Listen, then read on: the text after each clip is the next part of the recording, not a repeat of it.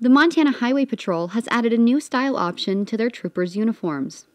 Montana Highway Patrol updates their uniforms often, and the new style design is a nod to local Montana culture and traditions.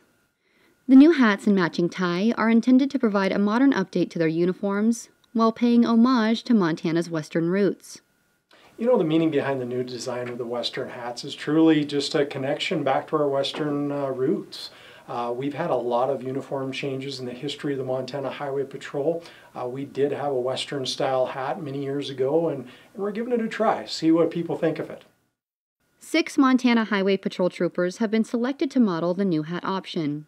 The new uniform style option will be worn for a trial period time, where feedback from the agency and the public will be considered to keep the new option. Montana Highway Patrol Trooper Mackenzie Gifford has had the opportunity to try out the new hat with matching tie and says she likes the new uniform option. Well, basically, with the new hats, the patrol has given us the option, if we wish, to kind of take a step back into our Western lifestyle in Montana. After the trial period, troopers can have the choice of switching to the new Western style hat or keeping the traditional campaign hat.